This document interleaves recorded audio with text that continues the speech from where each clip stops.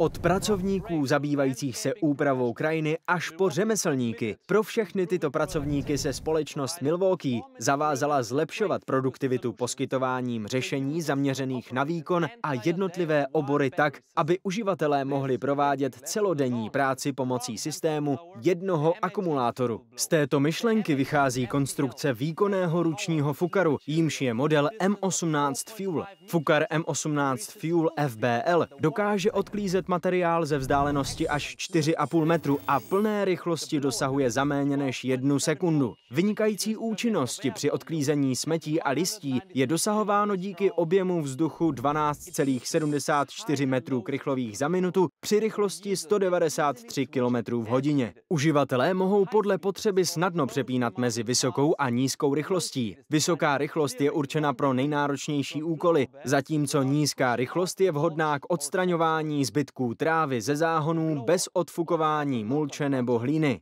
Fukar má také blokovací tlačítko, které uživateli umožňuje nastavovat plný výkon při volnějším držení během používání. I s akumulátorem o kapacitě 8 Ah váží Fukar pouze 3,3 kg. Díky tomu je obratný a práce s ním je méně namáhavá. Typ M18 FBL je navíc podstatně tižší než benzínové stroje a představuje tedy vynikající volbu v situacích, které vyžadují minimalizaci hluku, například v brzkých ranních hodinách nebo v zastavěných obytných oblastech. Mnohokrát vám děkuji za pozornost.